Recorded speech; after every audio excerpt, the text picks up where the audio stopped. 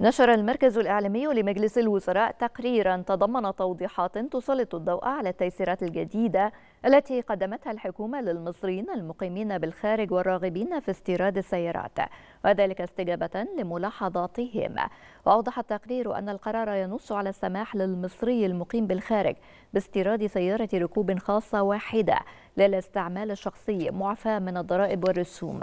وأشار التقرير إلى أن التعديلات على القرار تنص على إلغاء الشرط الخاص بإيداع المبلغ المتعين سداده قبل التحويل بثلاثة أشهر على الأقل مع الاكتفاء بتقديم كشف حساب بنكي للحساب المحول منه المبلغ فضلا عن إلغاء الشرط الخاص بالتصديق لدى وزارة الخارجية على الإقامة وكشف الحساب البنكي وشهادة بيانات السيارة المقدمة من المصري المقيم في الخارج.